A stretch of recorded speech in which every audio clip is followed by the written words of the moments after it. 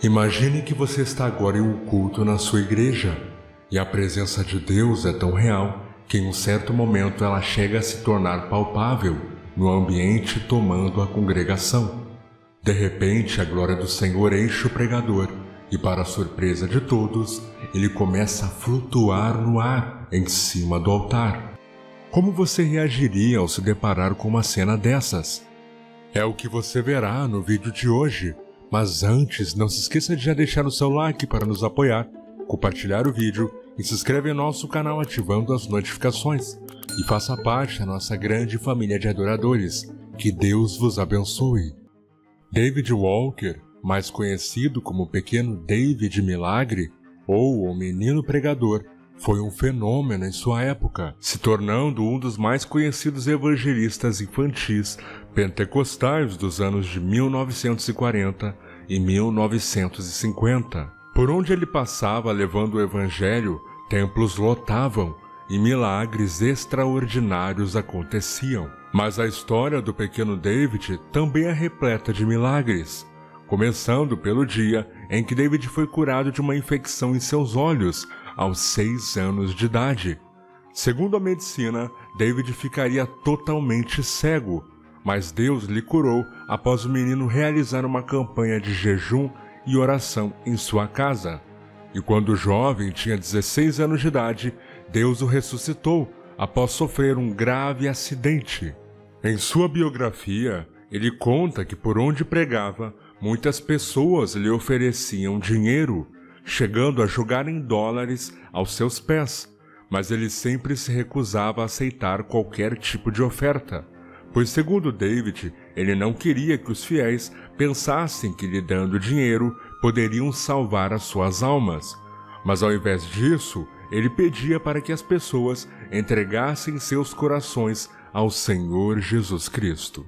Antes de se tornar pregador do Evangelho aos nove anos de idade, ele afirmou ter passado cinco horas no céu após ser arrebatado em espírito e contou o que viu. Confira o relato.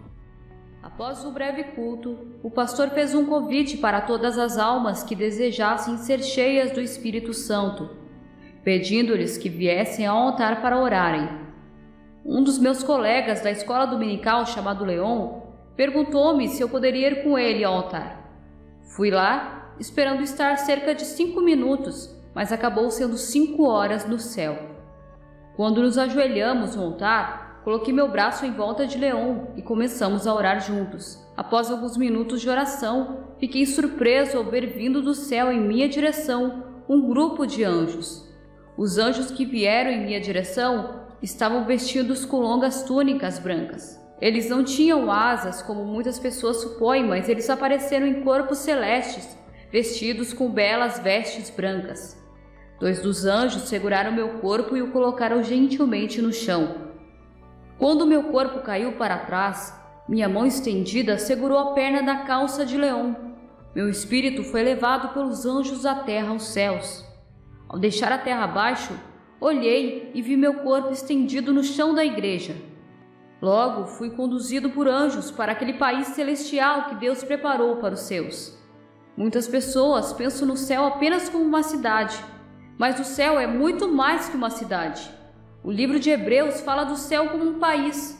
Ao entrar no céu, meu espírito assumiu um corpo celestial, um corpo como o que os santos de Deus terão na ressurreição.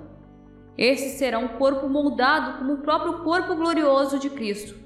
Enquanto eu corria pelo espaço de mãos dadas com os anjos, cantávamos canções celestiais como eu nunca tinha ouvido antes. Ao nosso redor parecia girar um canto invisível, um coro celestial. O ar estava cheio de música. Tudo era harmonia e melodia. Os céus foram banhados pela luz mais linda que os meus olhos já viram. Era como jaspe brilhando ao sol. Não havia sol no céu, não havia luzes de rua naquele país celestial. E, no entanto, havia uma luz gloriosa ao nosso redor. Então, enquanto me perguntava de onde tinha vindo toda essa bela luz, Deus trouxe à minha mente as palavras de Apocalipse, capítulo 21, versículo 23. E a cidade não precisava do sol nem da lua para nela brilhar, pois a glória de Deus a iluminou. e o Cordeiro é a sua luz. Enquanto eu olhava para as belezas e maravilhas do céu, olhei até onde eu podia ver, à minha frente, depois para a direita, para a esquerda e atrás de mim, mas em nenhum lugar pude ver o fim do céu. Muitas pessoas na Terra têm uma concepção do céu como sendo apenas uma pequena cidade feita para um grupo. Mas o céu é um vasto país, como diz em Apocalipse, capítulo 5, versículo 11. E olhei e ouvi a voz de muitos anjos ao redor do trono, das bestas e dos anciãos. E era o número deles, milhões de milhões e milhares de milhares. De mãos dadas com os anjos, corri em direção àquela bela cidade cantando enquanto íamos. Muitas pessoas me pediram para cantar para eles as canções que eu cantei com os anjos. Mas eu não posso cantá-las aqui na terra. Não os aprendi nessa terra. Elas nunca foram escritas em nossos livros de hinos. Eu nunca as ouvi serem cantadas em qualquer igreja. Elas eram as canções do céu. Você pode me perguntar: como as aprendeu? Eu não precisava aprender, apenas as conhecia. E quando os anjos cantaram, juntei-me a eles. Seria tão difícil cantar na terra as canções que cantamos no céu, como descrever com língua humana as belezas e glórias que vi no céu. Muitas pessoas me perguntam: como você se sentiu quando estava lá? Vou explicar o tipo de alegria que eu tive em apenas uma palavra: indescritível. Se você me pedir para me contar sobre o sentimento de amor que inundou meu coração naquele momento, em poucas palavras eu posso dizer: foi o amor que ultrapassa todo o conhecimento. Se você me perguntar que paz havia em meu coração e em minha mente, eu lhe respondo que tive uma paz que excede todo o entendimento. Enquanto eu cantava com os anjos e contemplava as maravilhas do céu, de repente uma luz brilhante apareceu diante dos meus olhos. Foi a luz mais brilhante que eu já vi. E imediatamente os céus, a terra, os anjos todos desapareceram e fui envolto na presença de uma glória indizível. Enquanto permanecia ali tenso imóvel, esperando que algo acontecesse, pensei em minha mente: gostaria de poder ficar para sempre neste lugar celestial, da glória da Shekinah. E uma voz então falou. Foi a voz mais maravilhosa que meus ouvidos já ouviram. Era uma voz cheia de amor, misericórdia, compaixão e caridade era uma voz que expressava bondade, mansidão e compreensão. Era a voz de Jesus, o Filho de Deus. Jesus chamou meu nome e disse: David, eu conheço o desejo do seu coração. Sei que você gostaria de permanecer para todo sempre no céu, mas tem uma obra para você fazer. Você deve retornar à terra e ser um trabalhador na minha vinha. Vou torná-lo um pregador do meu evangelho você pode imaginar como eu fiquei emocionado ao ouvir o Senhor dizer que faria de mim um pregador. Testemunhou David Walker após ser arrebatado ao céu.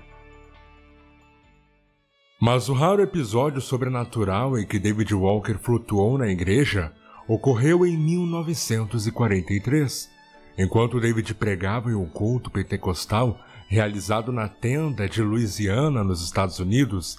A presença de Deus tomou um ambiente, se tornando palpável em toda a igreja, e o menino começou a flutuar em cima do altar, como se estivesse sendo arrebatado, deixando a todos que assistiam à cena impressionados com o que estavam vendo. O fato foi tão incrível que na época um fotógrafo chegou a registrar o raríssimo momento.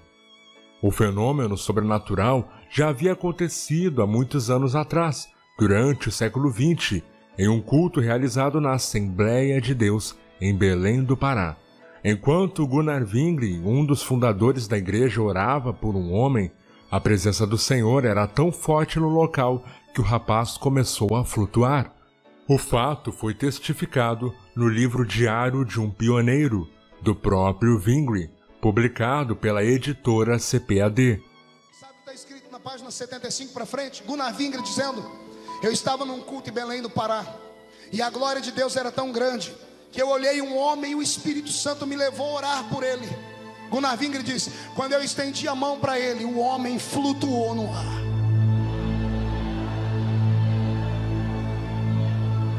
Você viu como é que o glória a Deus diminuiu? Teve gente que se apavorou. E só para te deixar mais apavorado, eu vou repetir. Gunnar Vingre disse: Eu estendi a mão e o homem levitou, flutuou no ar. Vai dizer o quê? O próprio Vingre se assustou. Ele disse que ele retirou a mão e o homem voltou para o banco. E ele disse que quando ele olhou, ele falou: Vou tentar de novo. Quando ele estendeu a mão, o homem levitou no ar de novo. A igreja inteira assistiu. Anos depois, outros pastores tentaram repetir o feito do menino pregador, sem muito sucesso, já que muitos não passavam de truques dos mesmos. Atualmente, David Walker completou mais de 76 anos de ministério e, em sua entrevista mais recente, ao lado de sua esposa Kate, para o portal da Assembleia de Deus nos Estados Unidos, ele falou sobre a importância de buscarmos a presença de Deus e sermos cheios do Espírito Santo. In the Bible, the Jews on the day of Pentecost, the Gentiles in Acts 10 with the household of Cornelius. They received the Holy Ghost for they heard them speak with tongues and magnify God. And this promise is for you and for your children and to them that are afar off even to as many as the Lord our God shall call. Hallelujah. Então, adoradores, que nós possamos voltar ao primeiro amor, como a igreja primitiva, e como disse David Walker, que venhamos ser cheios do Espírito Santo, para também vivenciarmos experiências sobrenaturais na presença de Deus, como aconteceu com ele até a vinda do Senhor Jesus Cristo.